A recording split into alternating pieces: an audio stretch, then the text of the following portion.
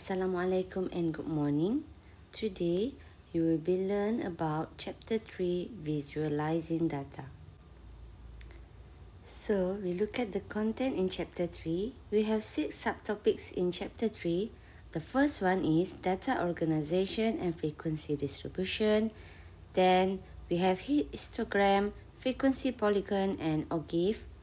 3.3 stem and leaf plot, 3.4 box plot, 3.5 are the types of graph for qualitative data, and the last one, graphical summary using Microsoft Excel. So the overview, organizing and graphing data for quantitative data. Okay, so here for quantitative data, which is numerical data, we can present our data by using first one, frequency distribution here. Okay, this is the first one. And then we can present also in histogram, frequency polygon, oh, or GIF, stem and leaf plot, and the last one is a box plot. Well, for the qualitative data, okay, you can present your data first by using frequency distribution, okay, Second one by using pie chart, Pareto chart, bar chart, and contingency table. So we go one by one here. First one, we look at 3.1, data organization and frequency distribution. Okay, we look at frequency distribution for quantitative data first. Okay, when you look at the table here, so we have ungrouped data and second one is the group data. Okay, so ungrouped data, data are given as individual points. You look at the column here, television set.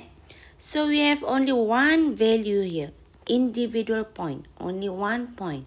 But for the group data, okay, when you look at the columns of exam score. Okay.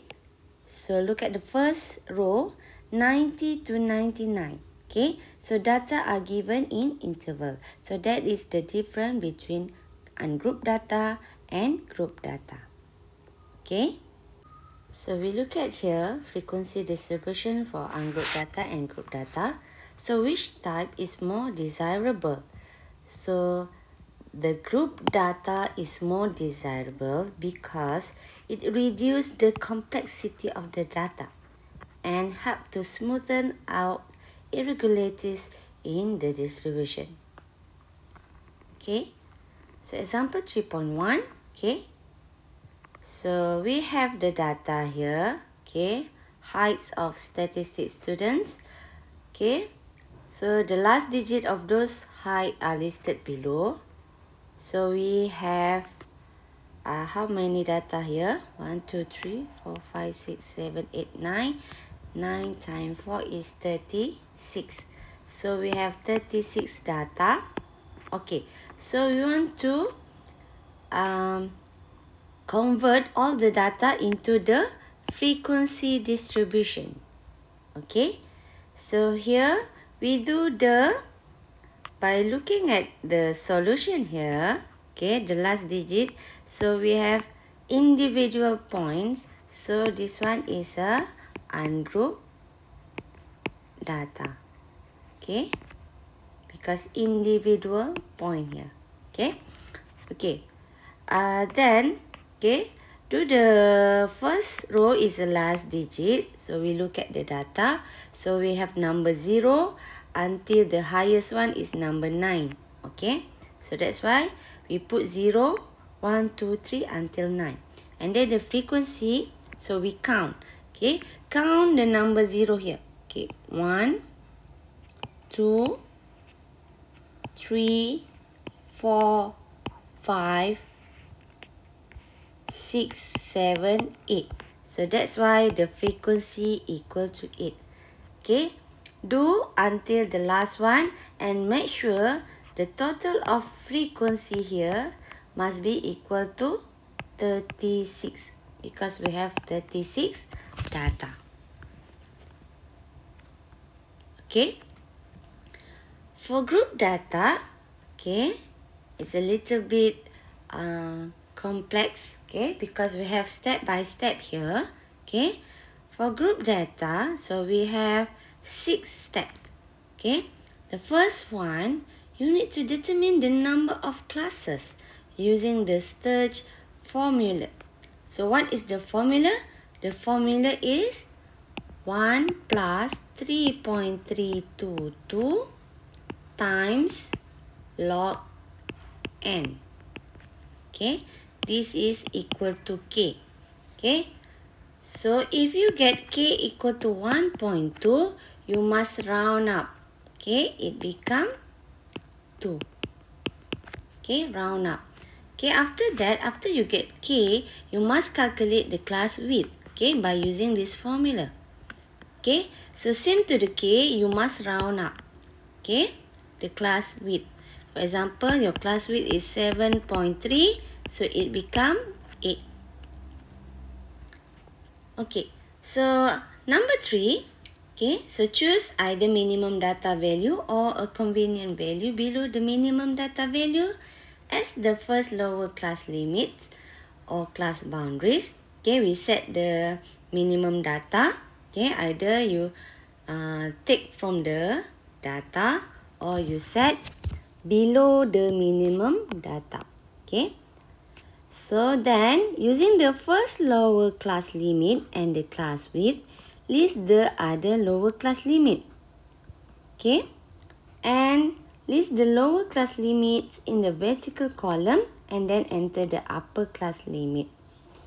The last one, take each individual data value and put a tally mark in the appropriate class and the tally marks to find the total frequency for each class. Okay, we look at the example. So we have 40 students, okay, marks, okay, in an examination. Okay, First step, you need to calculate K okay, by using the formula. So because of our n, the total data equal to 40. So that's why log 40. Okay. Base 10 by using calculator. Okay. Then we get 7. This one after round up. Okay. Then find the class width by using the formula. So maximum minus minimum divide by this is k. Then you get 8 okay after round up. Then we set the class boundaries and the frequency here. So you must have two columns. The first one is class boundaries the second one is a fre frequency. For the class boundaries we set 31 the minimum data okay can you see the data here, what is the minimum number in this data? As we can see here, the minimum data, okay, is a 33, right? Okay, but we set the class boundaries, okay.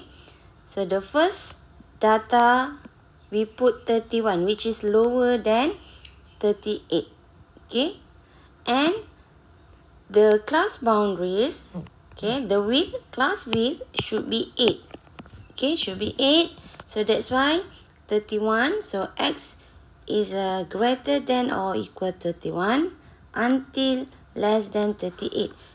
It can also represent as 31 until 38. So we have 8 class boundaries here. Okay, then second one start with 39 until 46. 47 until 54. 55 until 62. 62, sorry, 63 until 70. 71 until 78. And the last one, 78 until 86. Okay, make sure all the data are included in the class interval, the class boundaries.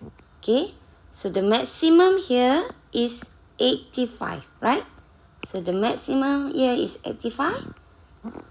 So the last class boundaries is 78 until 86. So included, okay, in the last class. Okay, then we stop. Then calculate the frequency. So how many data included in the first group? 31 until 38. So we count it. So 31 until 38. So 1, 2. So is there any data between 31 until 38?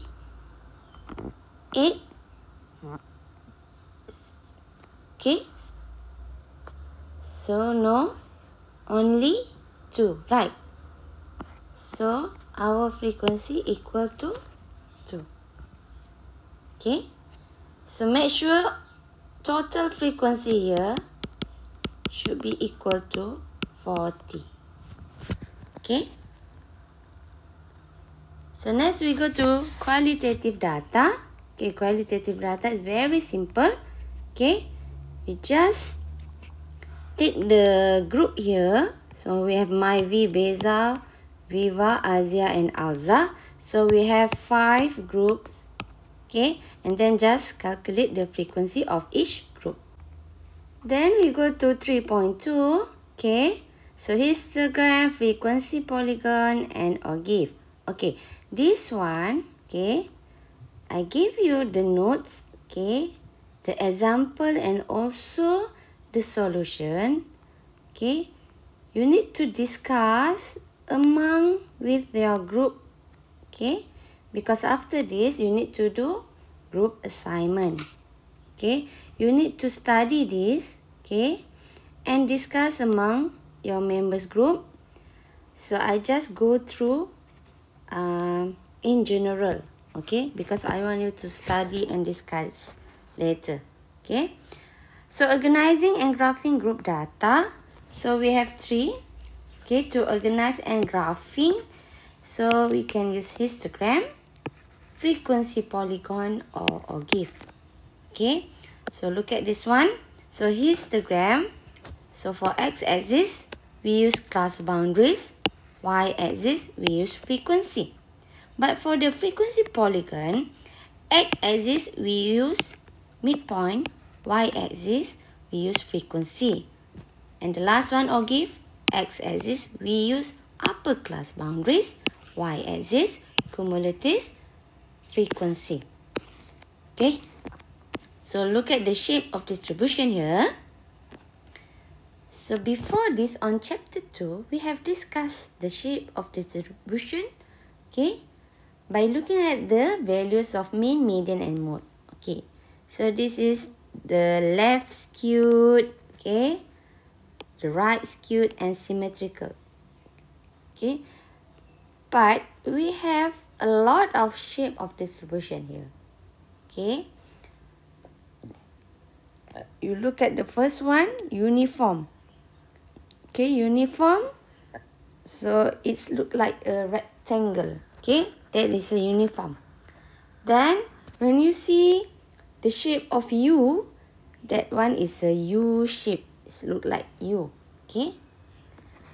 And if you see the two peak here, okay, up and down and up again and down. So this is bimodal. Okay. Number four is a J shape. It's a look like a J. And if you reverse the J, it become a reverse J shape. Okay. So we have additional. So five additional shape here. You need to know. Okay. So the rest, example 3.4 for histogram. Okay, so we give you the solution as well. Then we have a frequency polygon and also the last one is ogive. So as I mentioned before, you need to study this, okay? Discuss among your friends in your groups. Later, you will do this in your assignment, okay? So that's all for part 1, chapter 3. See you on uh, next part. Okay? Uh, part two. So thank you